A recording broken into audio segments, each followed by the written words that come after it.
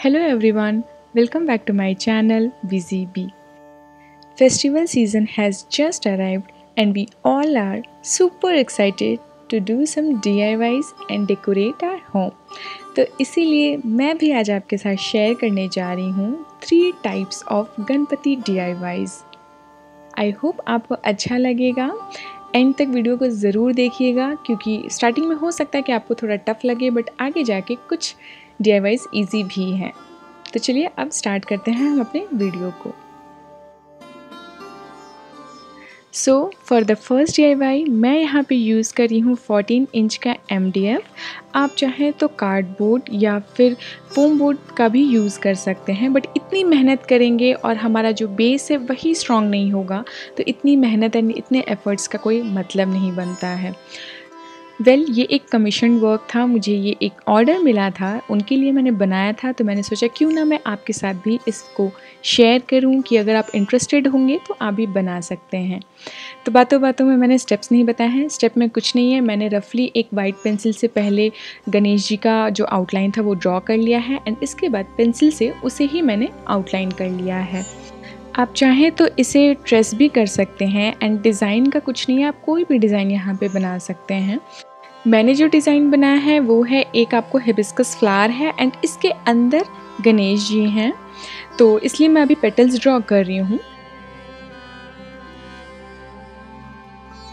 Next मैं यहाँ पे यूज़ कर रही हूँ अपना पेपर नैपकिन जो नॉर्मल हमारे घरों में टिश्यू पेपर्स होते हैं, उसे ही आपको लेना है। एंड इसे, इसकी जो लेयर्स हैं, उन्हें सेपरेट कर लेना है। उसके बाद मैं यहाँ पे यूज़ कर रही हूँ आपको मॉडपॉज ग्लू अगर आप अपने लिए बना रहे हैं तो आप, जो होममेड मॉडपॉज है, उसे भी यूज़ कर सकते हैं। अब जो यहाँ पे आउटलाइन है, इसके अंदर ही हमें स्टिक करना है। हमें बाहर की तरफ़ स्टिक नहीं करना है। एंड जो गणपति जी का फेस है, जो हेड है, वहाँ पे भी हमें स्टिक नहीं करना है। जितनी दूर हमको पेटल्स रखनी है, सिर्फ़ उतने ही दूर हमें ग्लू लगानी है। एंड अपने नैपकिन पेपर को कुछ इस तरीके से यहाँ पर स्टिक करना है। हमें थोड़े से रिंकल्स यहाँ पर चाहिए, जैसे पेटल्स में होते हैं। तो उस, कुछ इस तरीके से हम उसे स्टिक करेंगे कि इसमें थोड़े से रिंकल्स फॉर्म हो जाएँ।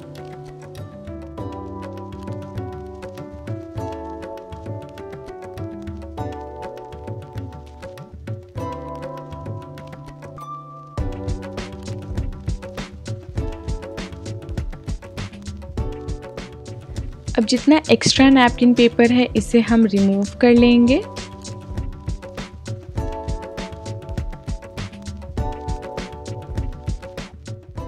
तो पहले मैंने सीज़र से कट करके एक्स्ट्रा नैपकिन पेपर निकाल दिए। अब जो एजेस के पास जो हैं, हमें एक अच्छी फिनिश चाहिए। तो इसके लिए मैं यहाँ पे ब्रश में थोड़ा सा पानी लगा करके इस तरीके से नैपकिन को रिमूव कर रही हूँ। जो भी हमने स्टिक नहीं किया है, उसे हम इस तरीके से रिमूव कर देंगे।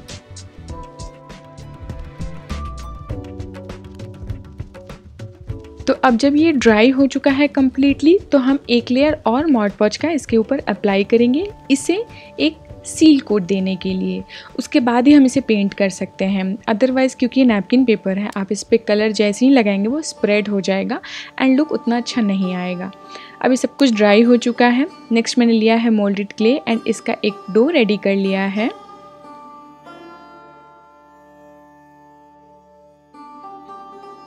अब क्ले का थोड़ा पार्ट हम इस तरीके से रोल करते हुए एक लंबी सी चेन बना लेंगे एंड इसको हम अपना जो आउटलाइन है गणेश जी का, उसके ऊपर फेविकॉल की हेल्प से स्टिक कर देंगे।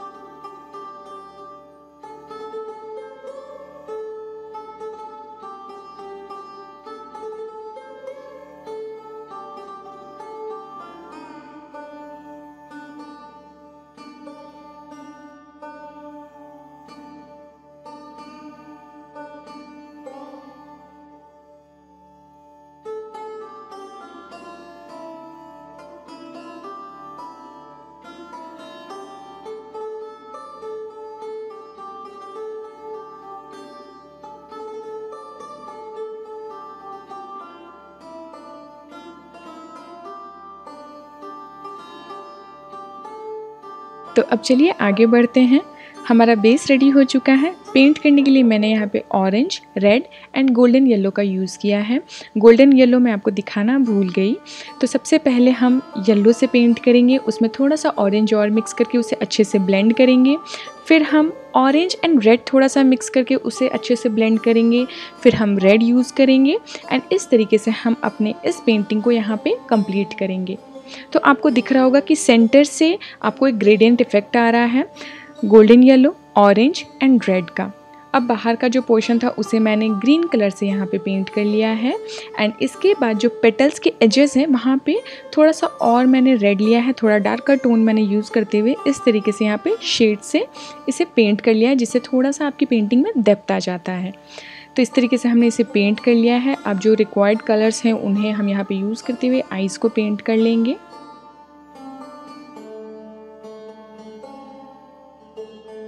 पेंटिंग पार्ट होने के बाद नेक्स्ट मैं यहाँ पे यूज़ कर रही हूँ गोल्डन कलर का ग्लास लाइनर ये एक थ्री लाइनर है जो हम जनरली ग्लास पेंटिंग्स में यूज़ करते हैं। तो जो पेटल्स की आउटलाइन है, उसे मैं यहाँ पे अपने थ्री लाइनर से इस तरीके से आउटलाइन कर दूँगी।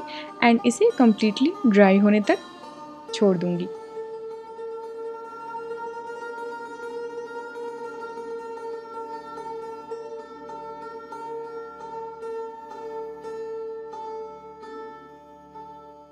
अब थोड़ा सा और हाईलाइट करेंगे। उसके लिए मैं यूज़ कर रही हूँ गोल्डन कलर का इनेमल पेंट ये मैंने लोकल हार्डवेयर स्टोर से लिया है। ये आपको अराउंड हंड्रेड रुपीज़ में मिल जाती है बहुत ही ईजिली तो अब इससे कुछ चीज़ों को मैं हाईलाइट करूँगी, जो आपको गणेश जी का पार्ट है, इसे हम थोड़ा सा हाईलाइट कर लेंगे।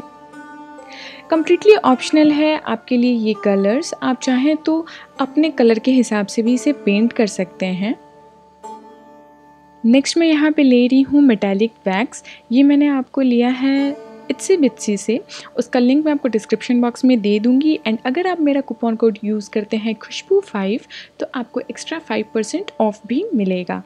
तो यहाँ पे पेटल्स के ऊपर हम इस तरीके से रब कर लेंगे with the help of finger tip and ये कुछ इस तरीके से हाईलाइट हो जाएगा।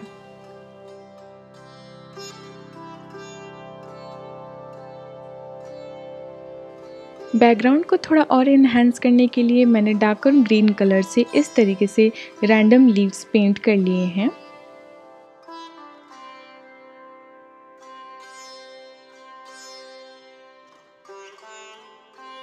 तो बस हमारा आज का फ़र्स्ट डी कंप्लीट होता है।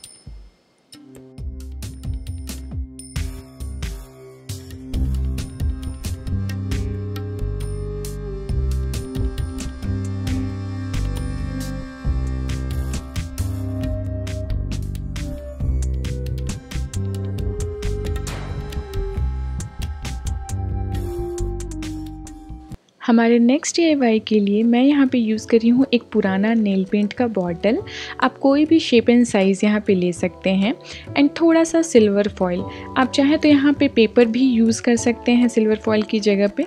बस हमें थोड़ी सी थिकनेस बढ़ानी है बॉटल की। पेपर ज़्यादा अगर आप यूज़ करते हैं तो इस चीज़ का ध्यान रखें कि वो अच्छे से आप उसे प्रेस करें सो दैट कि उसके बीच में एयर ना रह जाए स्पेस ना रह जाए। नहीं तो बाद में वो दब जाएगा एंड आपका जो डिज़ाइन है वो ख़राब हो सकता है। नेक्स्ट मैंने ले लिया है मोल्डेड क्ले एंड उसको मिक्स करके अच्छे से एक डो रेडी कर लिया है एंड एक वेस्ट बॉटल की कैप के ऊपर इस तरीके से मैंने क्ले को स्टिक करके एक बेस रेडी कर लिया है। अब इसके ऊपर अपना जो नेल प्रिंट का बॉटल था उसे स्टिक कर दिया है एंड अब इसके ऊपर हम करेंगे क्ले की लेयरिंग तो सबसे पहले हम इसे क्ले से कवर कर देंगे एंड अब बनाएँगे हम छोटे छोटे पाँव। तो यहाँ पे हम इस तरीके से इसे स्टिक कर देंगे।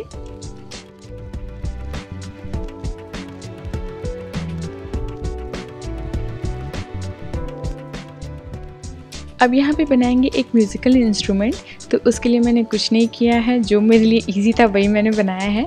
एक छोटा सा क्ले का बॉल लिया है एंड इसके ऊपर कुछ इस तरीके से मैं डिज़ाइंस बनाऊँगी एंड इसको आगे की तरफ़ स्टैचू पे स्टिक कर दूँगी।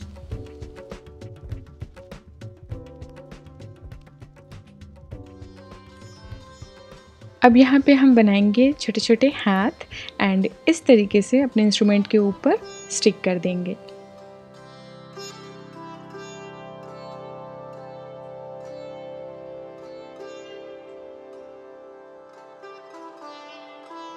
अब ये थोड़ा ऑड लग रहा है। इसे कवर करने के लिए इस तरीके से हम क्ले लेंगे एंड इसे पीछे की तरफ़ ऐसे कवर कर देंगे।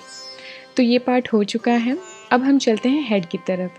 तो यहाँ पे इस तरीके से मैंने हेड बना लिया है। एक तरफ़ थोड़ा पॉइंटेड रखना है एंड इस तरीके से हम इसे रोल कर लेंगे एंड इसी के साथ हमारे जो गणेश जी का हेड है, वो भी रेडी है।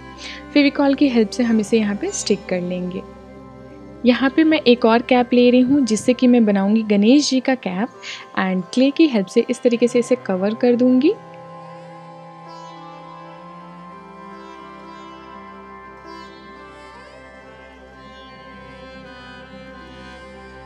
कैप लगाने के बाद मैंने यहाँ पे उनकी ईयर्स भी लगा दी हैं एंड कैप को जो थोड़ा सा डेकोरेट करना था, वो भी कर दिया है। अब ये कम्प्लीटली ड्राई हो चुके हैं। बेस कोट हम देंगे ब्लैक एक्रेलिक कलर का। एंड इसे कम्प्लीटली ड्राई होने देंगे। अब नेक्स्ट जो स्टेप है, वो है कम्प्लीटली ऑप्शनल आपको जिस कलर का रखना है, आप उस कलर से इसे पेंट कर सकते हैं। मैंने यहाँ पे काफ़ी अर्दे लुक रखा है। मैंने टेरा कोटा का लुक दिया है, इसलिए मैं कुछ इस तरीके से यहाँ पे पेंट कर रही हूँ। आपको थोड़ा रॉयल टच चाहिए तो आप गोल्डन कलर से भी इसे पेंट कर सकते हैं।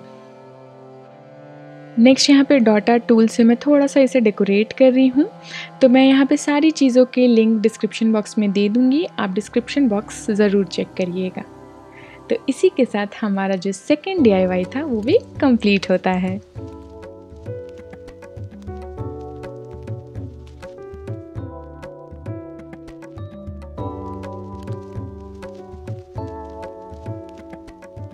अब चलते हैं अपने आज के लास्ट एंड थर्ड डी की तरफ़।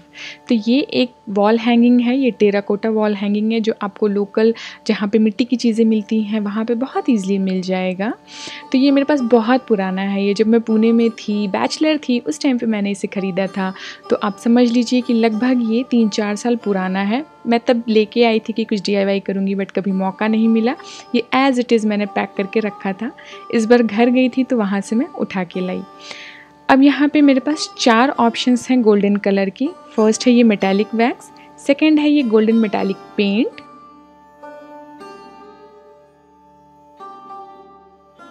थर्ड है आपको ये गोल्डन इनेमल पेंट जो आपको लोकल हार्डवेयर स्टोर में मिल जाएगा। एंड जो फोर्थ है, वो है अपना बेसिक गोल्डन डस्ट कलर तो इसको आपको मीडियम के साथ मिक्स करके पेंट करना है या फिर आप इसे फिंगर टिप की हेल्प से भी पेंट कर सकते हैं।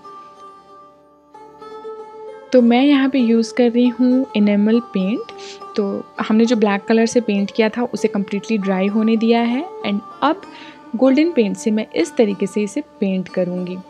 तो यहाँ पे मैंने इनेमल पेंट इसलिए यूज़ किया है क्योंकि ये वाटर प्रूफ होता है, आपको ड्यूरेबल होता है एंड ये क्योंकि ओपन रहने वाला है, इसलिए मैंने इस पेंट को यहाँ पे प्रेफर किया है. अब इसे हैंग करने के लिए मैं यूज़ कर रही हूँ यहाँ पे ये एक फ्रेम ये मैंने अमेज़ोन से लिया है एंड ये काफ़ी फेस्टिव लुक वाला फ्रेम है। डिसेंट है एलिगेंट है, बहुत ज़्यादा डिज़ाइंस भी नहीं है और एक गोल्डन टच भी है। बैकग्राउंड के लिए मैं यहाँ पे यूज़ कर रही हूँ ये आपको फैब्रिक एंड ये काफ़ी आपको फेस्टिव लुक वाली फैब्रिक है। तो जो बेस था उसके साइज़ का मैंने यहाँ पे फैब्रिक कट कर लिया है। एक एक एक सेंटीमीटर एक्स्ट्रा लेते हुए एंड फैब्रिक ग्लू की हेल्प से इसे यहाँ पे स्टिक कर दिया है। क्योंकि ये जो फैब्रिक है, ये थोड़ा स्टिफ होता है तो इसके लिए मैंने सेलो टेप की हेल्प से इसे सिक्योर किया है। एंड लास्ट में मैंने जो ब्राउन टेप आती है पैकेजिंग टेप उससे भी उसे सिक्योर कर लिया है। हैंग करने के लिए मैंने एक स्क्रू लिया है, जिसे मैंने इस तरीके से यहाँ सेंटर में स्क्रू कर दिया है। एंड पीछे की तरफ़ जैसा कि मैंने बोला ब्राउन टेप से मैंने इसे ये कर दिया है कवर कर दिया है, जिससे कि जो मॉइस्चर है, वो इसके अंदर नहीं जाएगा। अब हम इसे वापस फ्रेम कर देंगे एंड आगे की तरफ़ जो हमने स्क्रू लगाया था, उसमें अपने गणपति को इस तरीके से हैंग कर देंगे। तो बस इसी के साथ हमारा आज का लास्ट एंड थर्ड डी भी यहाँ पे कंप्लीट होता है। आई होप आपको मेरा आज का ये वीडियो अच्छा लगा हो। If yes do let me know in a comment section below and don't forget to like share and subscribe my channel तो मिलते हैं मेरे अगले वीडियो में. Till then take care bye bye